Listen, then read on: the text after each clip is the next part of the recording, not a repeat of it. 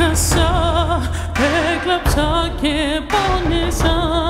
Την πατρίδα μου έχασα Έκλαψα και πόνεσα.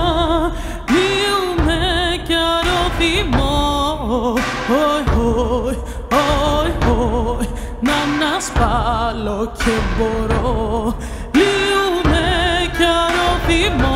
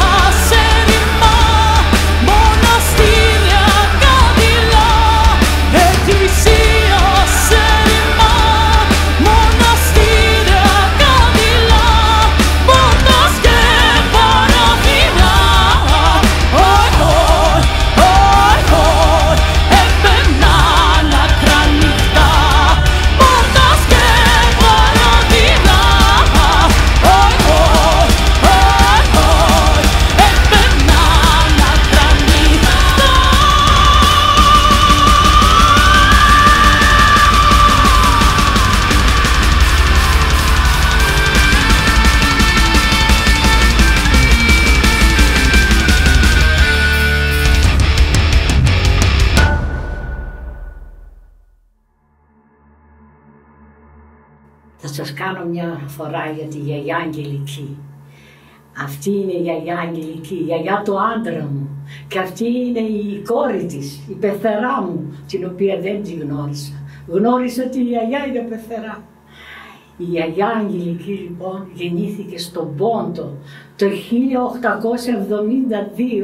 και έζησε όλον το διωγμό των ποντίων. Όλα τα βάσανα και ό,τι τραβήξαν αυτοί οι άνθρωποι.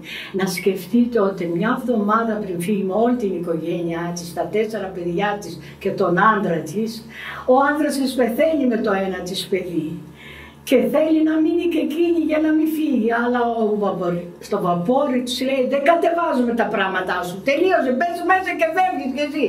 Τι να κάνει και εκείνη, μπήκε μέσα στο βαπόρι με τα τρία άλλα παιδιά.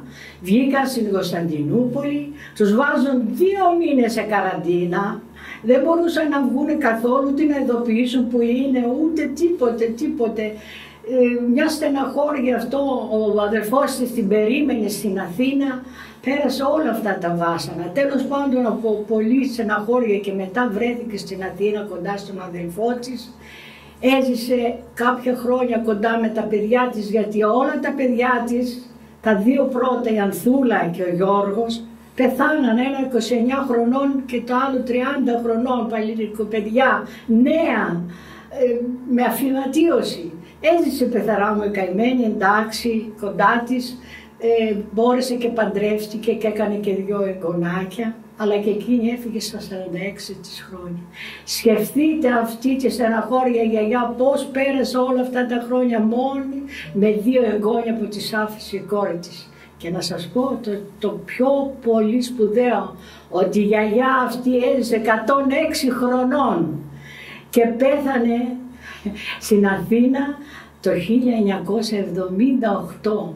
Πλήρησε χρόνο στη ζωή της. Γι' αυτό λοιπόν αυτό που με δίδαξε η γιαγιά, με δίδαξε και το λέω και το λέω σε όλους να τα ακούσουν κανένα μάνα να μην χάνει το παιδί της. Κανένα παιδί να μην χάνει τη μάνα του.